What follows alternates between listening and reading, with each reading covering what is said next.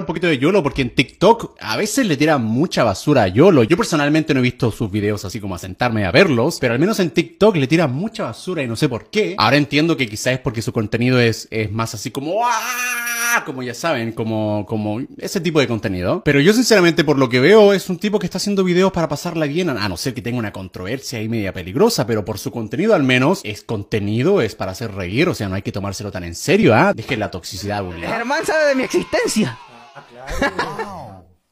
Dios santo, ¿eh? Ahí está. Un tipo sensato. Ahí está. Dios mío santo, no lo puedo creer. Yolo. Germán Garmendia sabe quién eres tú.